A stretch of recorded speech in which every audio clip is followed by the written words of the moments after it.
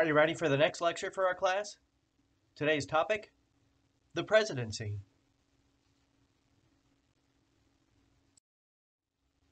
This topic will be approached in this way. First, I'll address the presidency and the Constitution and address things like uh, qualifications, the line of succession in case the president was to die. But the core will address the roles or functions that the president fulfills, beginning with the administrative function, domestic policy, foreign policy, the military role, and symbolic. The White House clearly is a symbol of America's presidency, and this is where the president does an awful lot of work. The other side of the White House shows the residence. Uh, I was lucky enough a few years back to travel to the White House and to even get a tour. Notice I'm wearing the team colors. This is my family from a few years ago, and we also had our exchange student from Germany we'll begin by looking at some past presidents and seeing who historians and political scientists argued were the best and the worst presidents in American history. C-SPAN has undertaken an extensive study of the presidency. And uh, whenever one of these studies has been done, uh, the top three has always been the same. The, in the latest poll that was done in 2017 of experts, uh, Franklin Roosevelt came out as number three. George Washington came out as number two. And the best president in American history was Abraham Lincoln. The evaluation of the presidents continued. This was through the Obama administration. Now, many people would argue that Richard Nixon had a failed presidency, but he also had several successes. So he ranks number 28 on the list. Who's the worst president of all time? Well, James Buchanan. He was president on the eve of the Civil War and was unable to breach any kind of a compromise between the North and the South. He was seen as inept.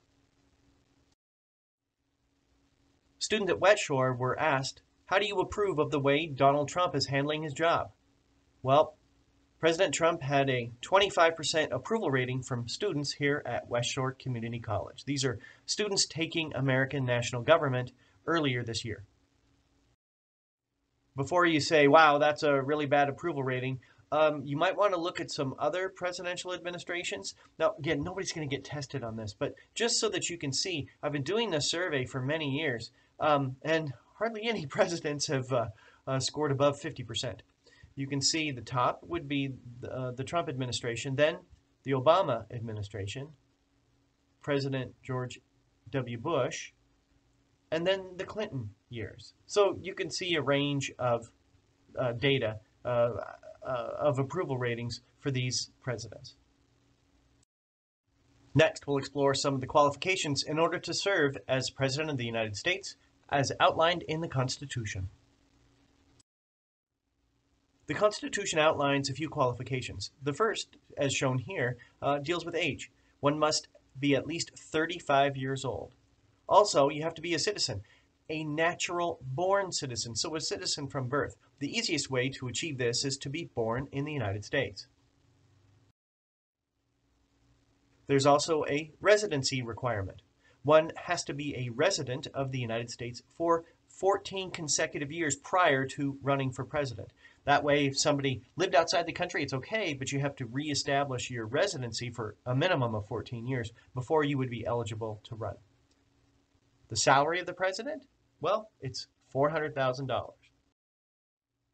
Now, I don't know about you, but $400,000 is a lot of money, and uh, I probably will never earn that in my lifetime. Uh, but let's compare the president's salary to others. Uh, by the way, we're not exactly sure what Donald Trump's income is uh, because we haven't seen his um, income tax records because he's got a lot of other investments. But his salary as president is $400,000. How does that compare? Well, George Clooney, the actor, makes nearly $240 million. Scarlett Johansson makes over $40 million. By the way, I see a bit of a gender gap there. The boxer Floyd Mayweather, $285 million. And Hock Tan, who is the CEO of Broadcom, which is a semiconductor and infrastructure software product company, well, he makes over $100 million. So really, the President of the United States does not have a very high salary as compared to many other fields. One thing I like to study would be presidential succession, uh, particularly if the president was to die while in office. Are you familiar with the first president to die in office? Well, he's shown here. His name was William Henry Harrison. Let me tell you a story about William Henry Harrison. He was a military hero who had defeated Native Americans at a battle called Tippecanoe. He was first elected to the White House in 1840. But then he didn't listen to his mother. It was very cold when he was inaugurated in 1841, and he delivered the longest inaugural address in American history, and he didn't wear a hat, and he didn't wear gloves. He caught a cold, it turned into pneumonia, and he died about one month into his administration. Supposedly, Harrison died because Native Americans had placed a curse on the White House. Any president elected in a year ending with a zero was supposed to have died while in office, and Harrison started this when he was elected in 1840. Well, let's see how this turned out. Harrison was the first, and he died only 30 days into his administration. He was elected in 1840. 1860, Abraham Lincoln was assassinated by John Wilkes Booth. In 1880, James Garfield was assassinated. In 1900, William McKinley was assassinated. In 1920, Warren Harding suffered a heart attack and died. And then in 1940, Franklin Roosevelt had a brain aneurysm and died. The curse continued until 1960. In 60, John F. Kennedy was assassinated. And then in 1980, Ronald Reagan was shot a couple of months into his presidency in March of 1981. His would be assassin was John Hinckley Jr., who was soon arrested. This ended the so called curse on the presidency. Now, if the president was to die, I think most people know that the vice president would take over. But do you know the next two positions in the line of succession? Well, the next person would be the Speaker of the House. And after that, it would be the President pro tempore of the Senate, which is a position that most Americans have never even heard of. The line of succession continues much further and it's set by federal law. Um, you don't need to know these for a test, but they begin with the Secretary of State, then Treasury, Secretary of Defense, and Attorney General. The line of succession continues on to these additional cabinet level positions. If something catastrophic was to happen, it might go all the way to the Secretary of Homeland Security.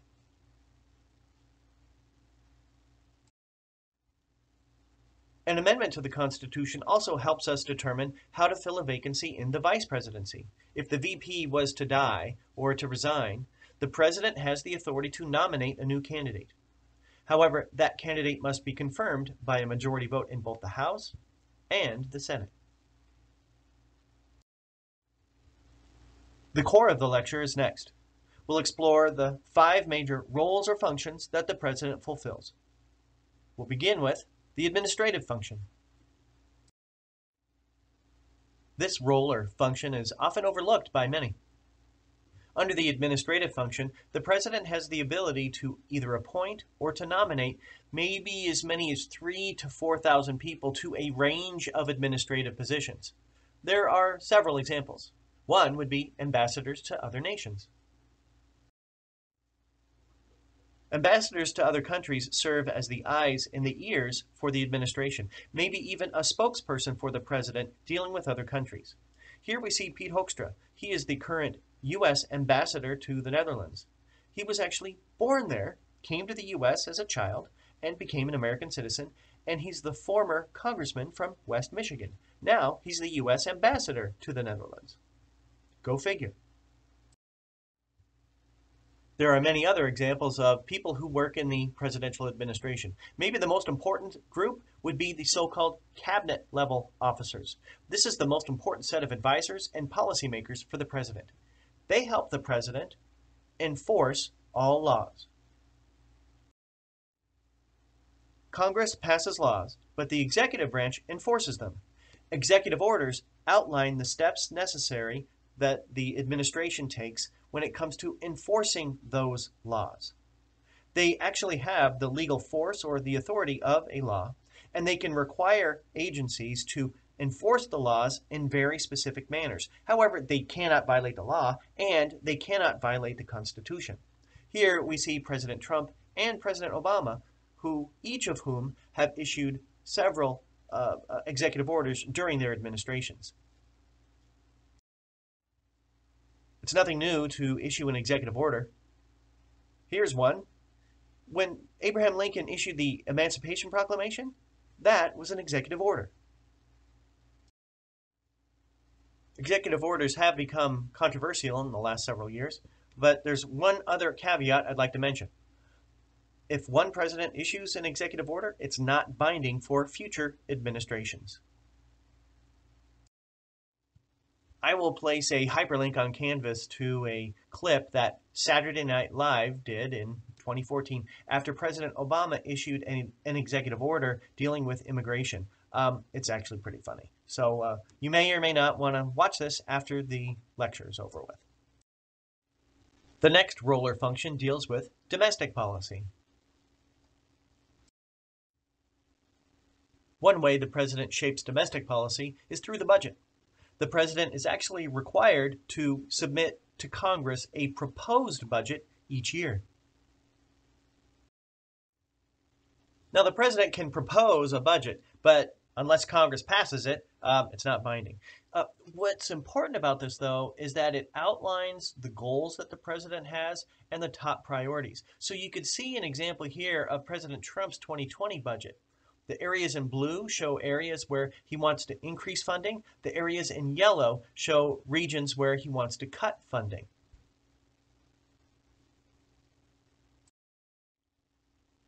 Presidents often have proposals for legislation. For President Trump, it was a tax cut. For President Obama, it was a national health care plan. But the president cannot go to Congress and introduce the legislation. Someone in Congress has to sponsor it. Here's a statistic about half of all laws originated in some way from the president. Now, this is a little bit of a review, but what I wanted to address was the president's role with lawmaking. Once Congress passes a bill, there are three th things the president can do. First, sign the bill, and boom, it becomes law. If the president's opposed, he could veto the bill, but that veto could be overridden by Congress. If the president does nothing, well, if the president does nothing and 10 working days pass, that bill becomes a law even without the president's signature. But if Congress quits for the year or adjourns within 10 working days, it becomes a pocket veto. For those of you who are wondering, if the president issues a pocket veto, it cannot be overridden by Congress. It's one way the president can really shape lawmaking. So how have different presidents acted when it comes to vetoes, veto overrides, pocket vetoes, things like that? Here are some statistics. No worries, you're not going to be tested on this, but but we see some early presidents not using it very much. Although Andrew Jackson issued 12 vetoes, more than the previous six presidents combined. Franklin Roosevelt set the record for the most vetoes. Holy how? He had a huge impact on all legislation. Here are some statistics for recent presidents. Uh, we haven't seen a whole lot of the use of the veto in the last three administrations, from George W. Bush, Obama, and Trump.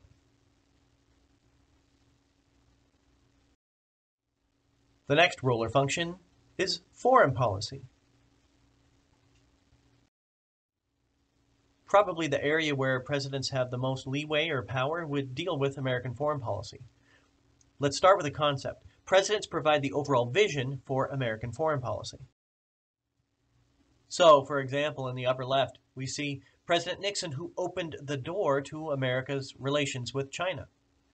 On the bottom left, we see President Obama opening U.S. relations with Cuba. And President Trump has made it a major part of his administration to focus on America first. The reason why presidents have so much authority is that the president is the person who negotiates all treaties. However, there is a check on the president's ability to do so. In order for a treaty to become a binding agreement, a two thirds majority vote in support of that proposal is needed in the Senate. However, there's something similar to an executive order that ensures that the president would have control over foreign policy. That is an executive agreement. It's an agreement between the American president and the leader of another country. However, this does not require Senate approval. But again, there's a check on this. It's not binding for future presidential administrations.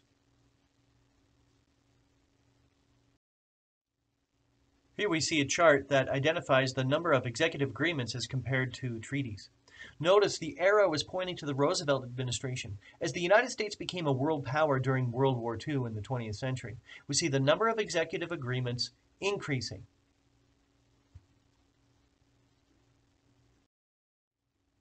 Another important role that the president fulfills would be as the military leader of the country. Article 2 of the Constitution outlines the powers of the President, and it declares that the President is, quote, Commander in Chief of the Army and Navy of the United States and the militia of the several states. President is Commander in Chief of the Armed Forces. Because the President serves as Commander in Chief of the Armed Forces, many have argued that a president should have a military background. Can you identify these military leaders who've been president? We've got George Washington, Andrew Jackson, Dwight Eisenhower, and George H.W. Bush. While the president is commander in chief of the armed forces, there is a check on the president's ability to wage war. Only Congress has the authority to declare war. In the past, there's been conflict between presidents who've wanted to go to war and Congress who has not declared war. And so in the 1970s, the War Powers Act was passed in order to try to address and outline times when the president could send troops into combat. There are three. First, if Congress declares war. Also, if there's a crisis, the president may act alone for a limited amount of time. And then Congress might specifically give the president the authority to send troops into combat given a particular situation. Now, there's no need to copy down this whole slide, but one time recently, when Congress did give the president the authority to send troops into combat, yet they didn't declare war, was in the aftermath of the attacks on the World Trade Center and Pentagon in September of 2001. This is the joint resolution authorizing President Bush to send troops into combat. It passed overwhelmingly in the Senate and the House.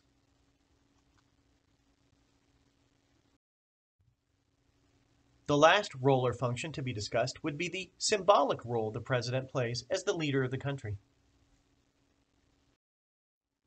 The president is our top political leader, but the president also serves as a head of state. In many ways, this is kind of similar to a symbolic monarch. Like in Great Britain, the queen doesn't have much power. However, she is the symbolic leader of her country. As the symbolic leader of the country, the president might host a state dinner, as you see here with President Obama. Or on the right, we see President Bush throwing out the first pitch to start the World Series. These really don't have much power associated with them, but they show that the president is the symbolic leader of our nation. President Trump has used new technologies to expand the symbolic role of the president. Here we see the president congratulating the country on the 4th of July holiday. He also is congratulating the winners of the World Series and also has a Thanksgiving Day message to the nation.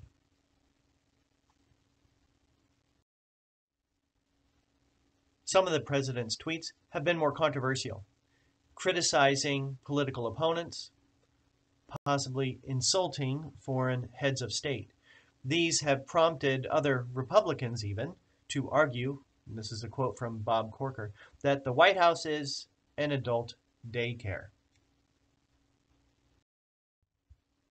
Both Democratic as well as Republican presidents have tarnished the symbolic role of the president in a range of manners. Here we see some sex scandals being highlighted that involve Bill Clinton, as well as Donald Trump. There is one actual power that the president has that's associated with the symbolic role. The president can pardon anyone who's been convicted of a federal crime. A selection from the Constitution is shown here.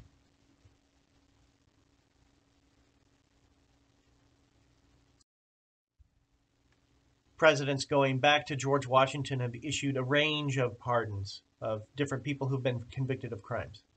You see the focus of the Obama administration uh, as they tried to address uh, some nonviolent drug offenders. And Joseph Arpaio was shown here on the right. He was the sheriff uh, in uh, from Arizona who was pardoned by President Trump. We're just about done. We've got a few concluding comments next. This presentation has addressed a few areas. It involved the different evaluation or rankings of different administrations and um, how the Constitution has addressed the presidency. But the core has addressed the five major roles or functions that the president fulfills. You should be able to describe and then evaluate these five roles or functions, and then determine which you believe to be the most important. Well, this is all for lecture number 11, the presidency. Only one more left.